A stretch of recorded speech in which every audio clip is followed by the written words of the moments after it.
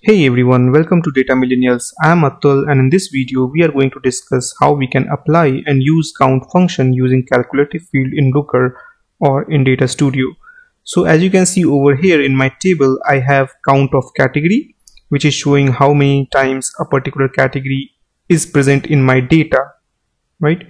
But if I'll show you the raw data source then you can see over here in my raw data source that I have category, date, quantity sold, unit price and last bought price. I do not have any column over here which has the category count. So in this video we will create this table and then we are going to apply or use the count function as a calculative field in our chart or table from scratch so that you can get the awareness that when, where and how we can apply the count function using calculated field. And before we use this function, let's understand the count function first. So count is a type of aggregation function in Looker and this count function helps you to count the number of items in a particular field. Now if we talk about the syntax of this count function then we have this keyword count and then we have to give the numeric field.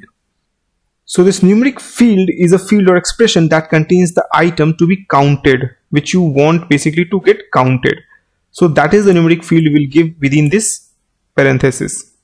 So let's go and create a calculative field using count in our table.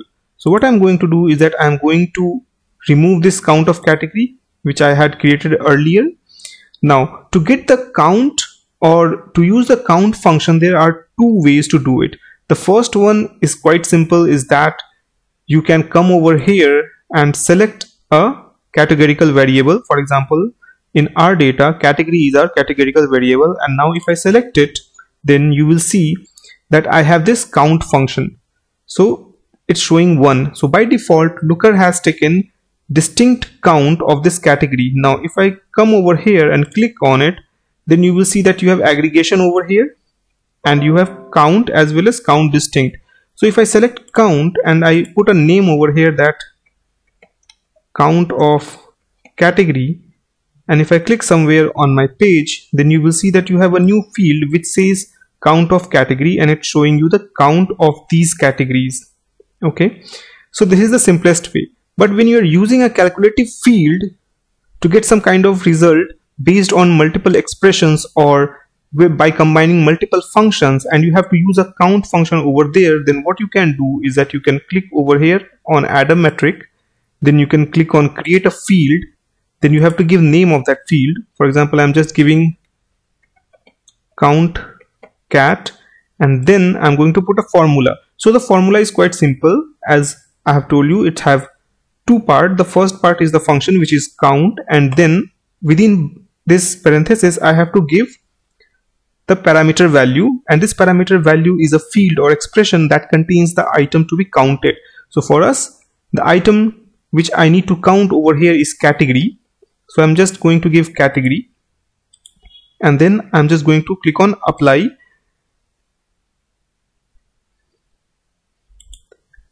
And you will see that we have a new field over here which says count cat. This is the count category and it's the same value. It's showing the same value over here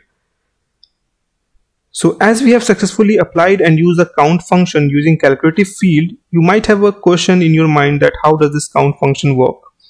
So this count function takes one parameter which can be the name of a metric, dimension or an expression of any type and this count function returns the total number of item in that field or expression including the duplicates. So this count function will give you the count including duplicates. If you do not want to count the duplicates, then you have to use count distinct, which we will be discussing in our future videos. As we have seen the use of this count, you might be thinking that it's a simple function and there cannot be any limitations. But let me tell you, there is a limitation of count function in Looker. So you cannot apply this function to a pre-aggregated field. And this pre-aggregated means that the aggregation type is something like auto or to an expression which is the result of another aggregation field. So for example, you cannot put count or you cannot use count function when you have already used an aggregation function such as sum. So if I put sum over here